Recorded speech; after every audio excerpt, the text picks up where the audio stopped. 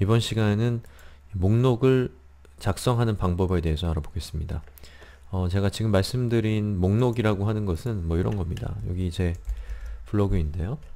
보통 그 WYSIWYG 에디터에 보시면 뭐 이런 식으로 번호를 매긴다든지 아니면 뭐 순서 없는 리스트 이런 식의 형식이 있죠.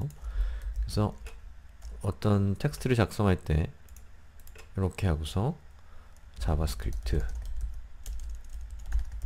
엔터 치면 예, 점이 생기고 거기에다가 뭐 HTML, CSS 이렇게 할 수 있죠. 그리고 이번엔 숫자로 순서가 있는 리스트는 어, 뭐 HTML, CSS, JavaScript 이렇게 하면 예, 순서대로 항목들이 나열이 되죠. 이런 것들이 예, 그 목록이라고 하고 뭐 영어로 리스트라고 하죠. 그럼 지금부터 이 목록을 어떻게 만드는지에 대해서 알아보겠습니다. 우선 문법은 크게 두 가지가 있는데요. 예, 첫 번째는 여기 제가 주석으로 써놓은 것처럼 순서가 없는 항목입니다. 예. 순서가 없는 항목은 UL로 시작해서 UL로 끝납니다. 예. UL이라고 하는 것은 예, 영어로는 여기 밑에 제가 적어놨는데요. unordered list라는 뜻입니다. 즉 순서가 없는 어, 리스트라는 뜻이죠. 그 약자죠. 예. 그리고 이 UR이, UL 밑에 li가 들어가면 요렇게 li 한 쌍이 한 쌍이 예, 하나의 그 항목이 되는 겁니다. 예, 예제를 보시죠. 자 여기 있는 예제를 제가 카피해서 콘솔에다가 붙여넣기를 해보겠습니다. 그리고 실행해 보면 이런 식으로 나옵니다.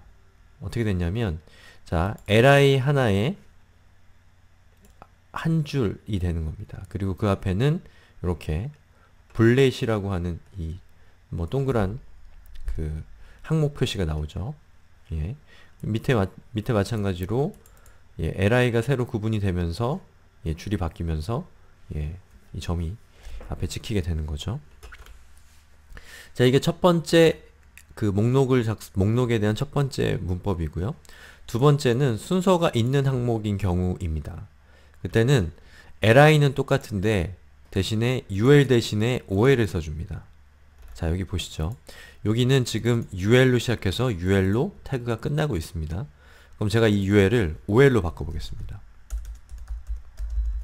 밑에도 ol 그리고 실행해보면 보시는 것처럼 요 테이블 앞에 1이 붙고 ul 앞에 2가 붙습니다.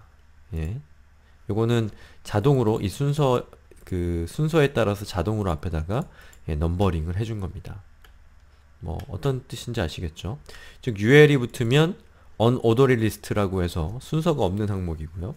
OL이 붙으면 예, ordered list라고 해서 순서가 있는 항목이 되는 겁니다.